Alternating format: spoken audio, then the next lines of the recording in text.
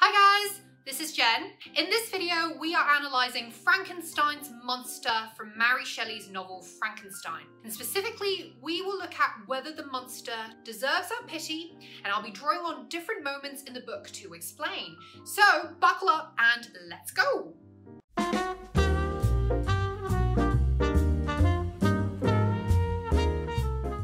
So the first thing to clarify about Shelley's novel is that Frankenstein is not the monster, right?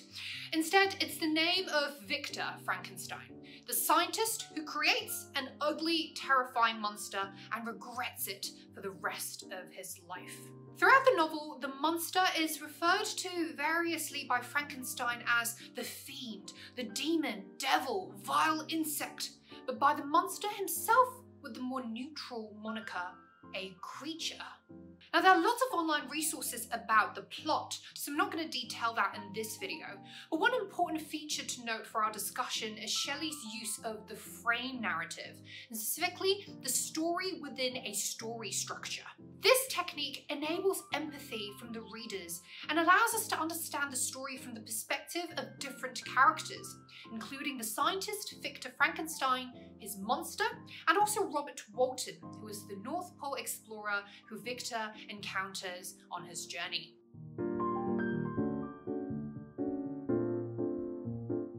Now, this is significant because it sets up the best conditions for pathos, which is central to our analysis of the monster's characterization. So in this video, let's look at whether it's possible at all for us to take pity on Frankenstein's monster. And I'm going to first briefly discuss the context and then go into three ideas which will hopefully guide us through the topic.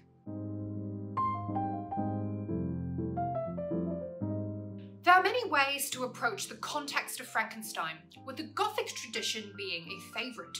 It's interesting to note that Mary Shelley wrote her story in a friendly ghost story writing challenge with her lover, Percy Shelley, and their acquaintances at the Villa Diodati near Lake Geneva, Switzerland, where they stayed in the summer of 1816.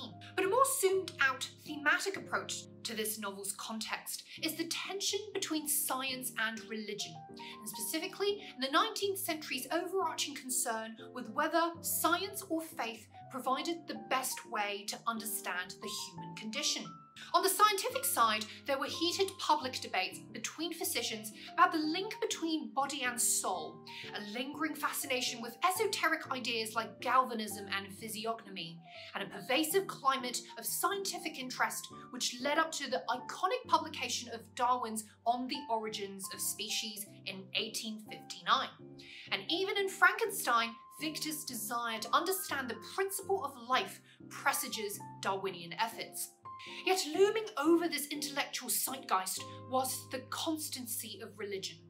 Before biology and chemistry came along, people relied on the Genesis story to explain the origins of the human species.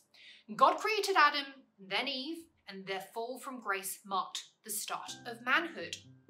The best literary response to this narrative is John Milton's Paradise Lost, but Shelley's Frankenstein offers its own unique twist on this creation tale. And instead of God creating a man who then goes on to sin at the egging of his female companion, we now have a man creating a monster who sins apparently because he has no female companion. So, in a way, we're led to re-evaluate Eve's culpability in Adam's fate. Had there been no Eve to introduce Adam to the forbidden fruit, would Adam not have sinned on his own anyway, out of solitude and loneliness, just like Frankenstein's monster? So let's now consider three key ideas to understand the pathos in Shelley's characterization of the monster.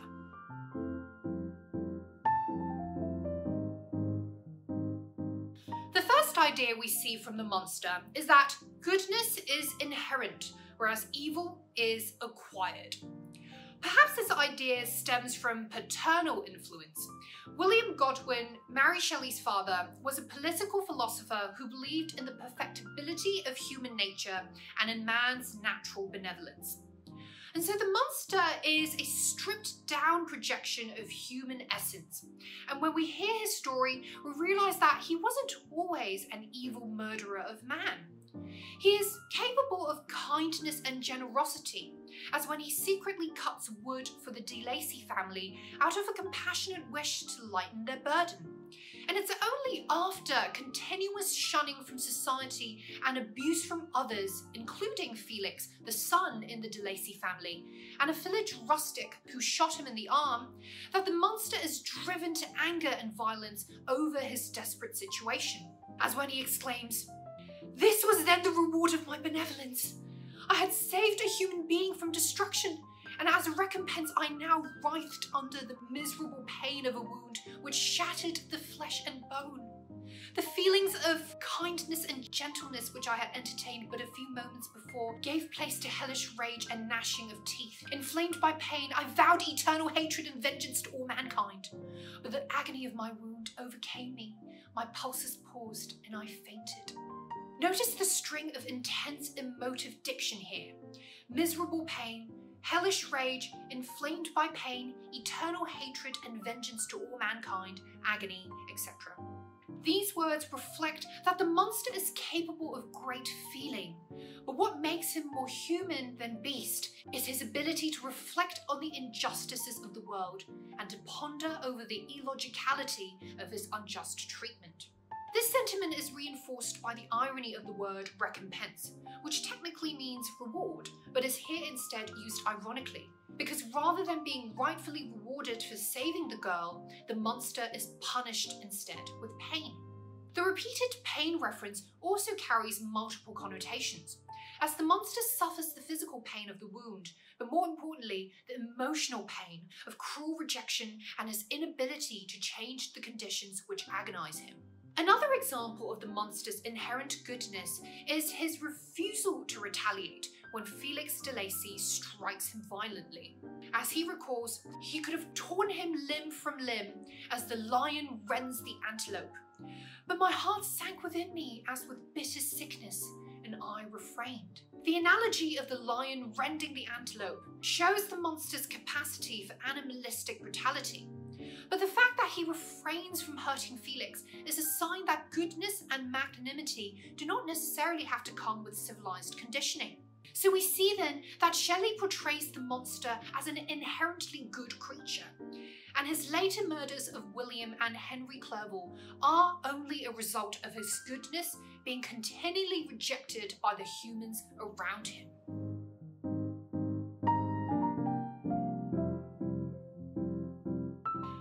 Biggest questions posed by this novel is how far we can empathize with those who are radically different from us. Shelley explores this idea through the extreme juxtaposition of a man highly conditioned by civilization and a monster completely removed from civilized conditioning. Even with the monster being Frankenstein's own creation, Frankenstein can't really bring himself to understand the difficulties of being an ugly creature. It's like how a beautiful person can't ever truly appreciate the challenges that ugly people face, or when people of one race, for all their good intentions, won't ever fully understand the unique problems that those of another race may face in life. Now, the reason for this inability is largely superficial Frankenstein, and by extension people in general, are prone to making judgments based on what they see on the surface. When Frankenstein first sets eyes on the monster, he emphasizes on just how repulsive the monster looks, and this focus on appearance paralyzes his ability to truly engage with his creation. As when he says, I perceived as the shape came nearer, sight tremendous and abhorred, that it was the wretch whom I had created. I trembled with rage and horror, resolving to wait his approach and then close with him in mortal combat. He approached, his countenance bespoke bitter anguish, combined with disdain and malignity, while its unearthly ugliness rendered it almost too horrible for human eyes. But I scarcely observed this. Rage and hatred at first deprived me of utterance, and I recovered only to overwhelm him with words expressive of furious detestation and contempt. The word perceived poses an ironic contrast to the parenthetical interjection sight tremendous and horrid. In fact, Frankenstein doesn't really ever perceive, which requires conscious awareness and understanding. He simply sees, as indicated by the word sight, but what he sees are all skin deep. Other examples of visual imagery include references to its unearthly ugliness, too horrible for human eyes, and eyes scarcely observed. But they all serve to highlight a central irony, namely that physical sight does not lend true clarity, and no amount of 2020 vision can ever compensate for a lack of insight. We're easily blindsided by our visceral response to things, and by our natural bias against what we find aesthetically unpleasant. This is perhaps also why the old Mr. de Lacey is the only character whom the monster can speak to without ever being judged, because he is actually blind.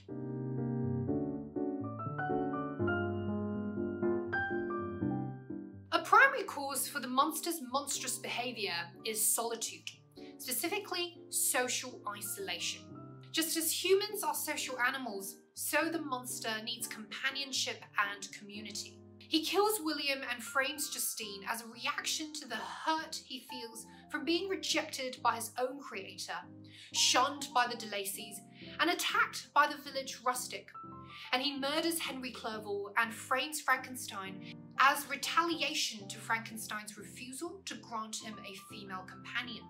In the monster's plea for a creature of another sex, we realise that he is, in fact, an incomplete Adam and the way to right his perversity is a basic human need to have his own Eve. As he cries, I intend it to reason.